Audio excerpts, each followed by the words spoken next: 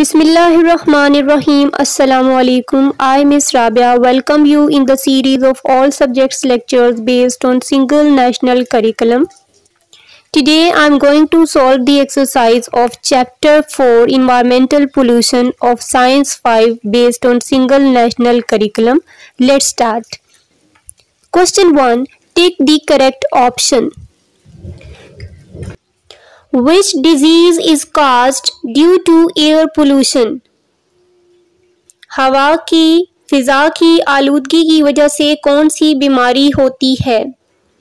A diarrhoea B typhoid C lungs cancer D cholera correct option is C lungs cancer number two the germs present in it cause typhoid इनमें मौजूद जरासीम टाइफाइड का सबब बनते हैं।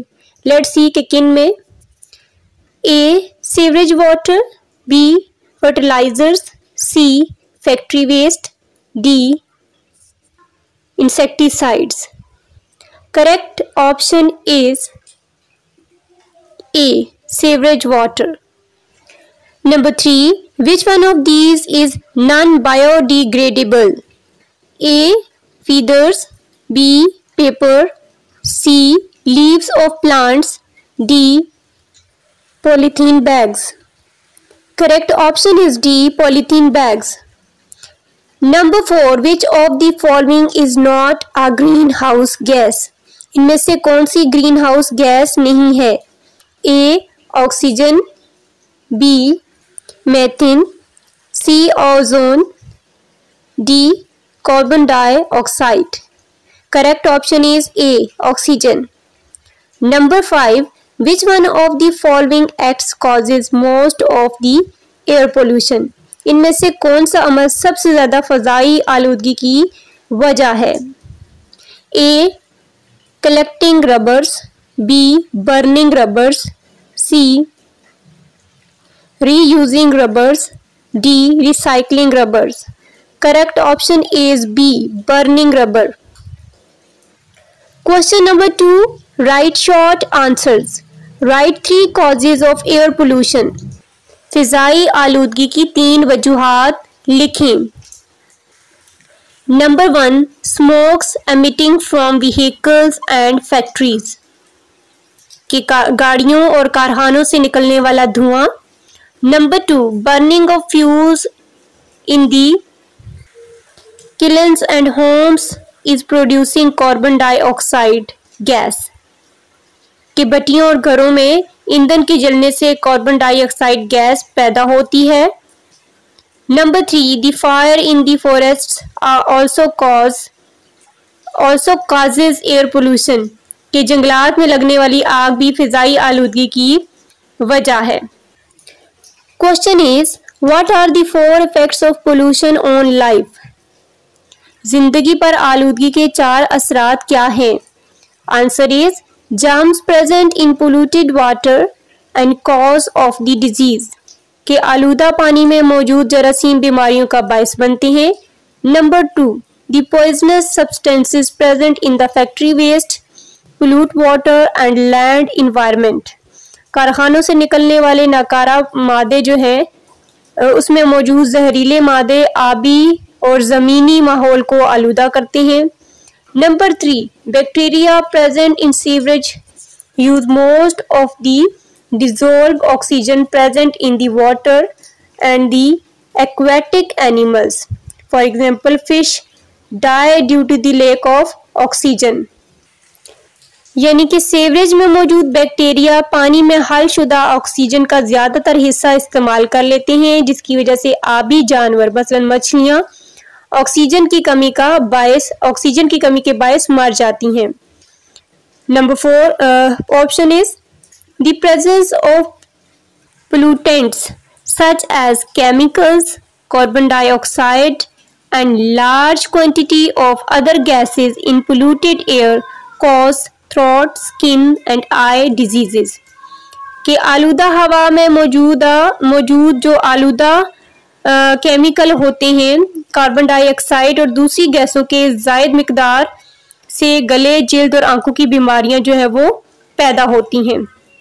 Next question is what is greenhouse effect कि green house effect क्या है? Answer is carbon dioxide and other gases present in our environment work like the gases of greenhouse. In other words, this allows the sunlight to reach the earth but does not allow to leave the heat of earth. To leave the heat of earth. This process is called greenhouse effect. Urdu में भी मैं आपको समझा देती हूँ कि हमारी फिजा में मौजूद कार्बन डाइऑक्साइड और दीगर गैसें रोशनी रोशनी को तो ज़मीन तक पहुँचने देती हैं मगर ज़मीन की हरारत को फिजा से बाहर नहीं निकलने देती, इस अमल को ग्रीन हाउस इफ़ेक्ट कहते हैं। Next question is what will be the effect of global warming कि ग्लोबल वार्मिंग के क्या असरात होंगे? Answer is the climate of the world will be changed दुनिया की आबो हवा तब्दील हो जाएगी। Number two the melting of ice of north and south poles will be increase the level of sea water कि शुमाली और जनूबी कुतबेन की बर्फ़ पिघल जाएगी और समुन्दर में पानी की सतह बढ़ जाएगी। Number three it is causing the occurrence of more rain and flood if this process continues then the coastal and island may disappeared in the sea कि बारिशें ज़्यादा होंगी, सैलाब आएँगे जिससे साइली इलाके और जजीरे डूब सकते हैं। Next question write three ways to to preventive measures to reduce pollution कि माहौलियाती आलूदगी कम करने के तीन इकदाम लिखें। Answer is polluted water should not be poured into rivers and canals. कि आलूदा पानी को दरियाओं और नदी नालों में ना डालें। Number two the garbage and solid waste of houses to be dispose of in a proper way कि घरेलू कूड़ा करकट और दूसरी ठोस, दूसरा ठोस जो फुजला है, यानी गंद है, उसको मुनासिब तरीके से ठिकाने लगाएँ।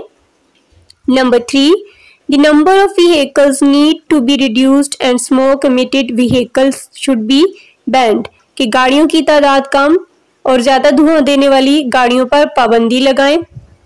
Now constructed response questions what is the main cause of pollution आलूदगी की सबसे बड़ी वजह क्या है answer is the three types of pollution are air air pollution, water pollution and land pollution.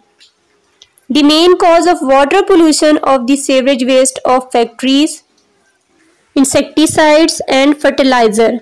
आबी आलूदगी की सबसे बड़ी वजह नालियों का गंदा पानी कारखानों के नाकारा मादे और कीड़े मार अद्वियात हैं।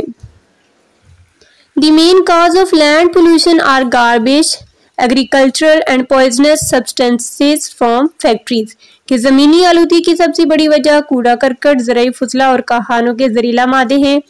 The main cause of air pollution is smoke from vehicles and industries और फजाई आलूदी की अहम वजह गाड़ियों का धुआँ और संतों से निकलने वाला धुआँ है question is why government of Pakistan has banned the use of polythene bags कि पॉलीथीन्स के थैले पर हुकूमत पाकिस्तान ने पाबंदी क्यों लगाई है Polythene bags are non-biodegradable.